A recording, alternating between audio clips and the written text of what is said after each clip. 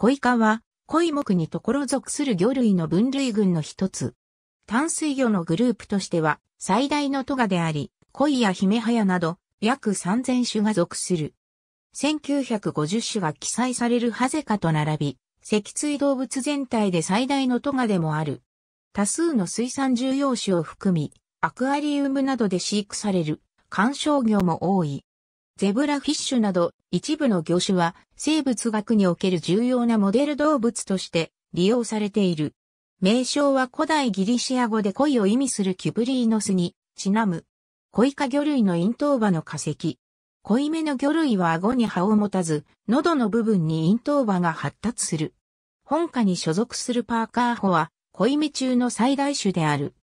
タイに分布する本種は少なくとも、体長2.5メートルに達し、3メートルに及ぶこともある。インドのブラマプトラ川に生息するトアプチトラも、最大で2.7メートルに達すると見られるほか、2メートルを超える大型種は、アジアから他に2種が知られる。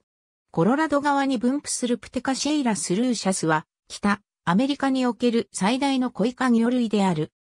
ほとんどの一般的なコイカ魚類は体長5センチメートル未満で、ミャンマーの河川から知られるダニエンラ属の2種は体長1センチメートル強で成熟する超小型種である。本下の咽頭葉は1から3列で、各列とも8本を超えることはない。多くの種類では、唇は薄く、ひだや突起はない。口ひげの有無は様々。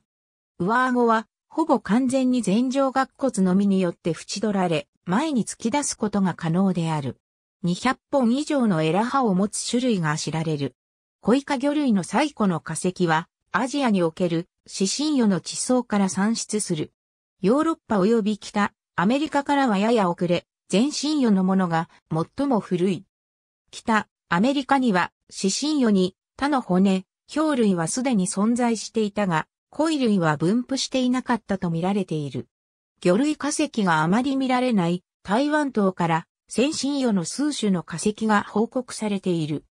かつては餌を取るときに素早く遊泳し頭部が可動性を持つグループと比較的ゆっくり泳ぎ頭部が固定されたグループというシンプルなに赤に分割されていたが、現在ではより詳細に分けられている。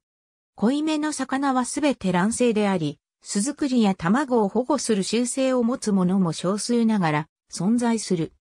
コイカ魚類はメキシコ南部までの北、アメリカ・アフリカ大陸、ユーラシア大陸に幅広く分布する一方で、南アメリカやオセアニアには生息しない。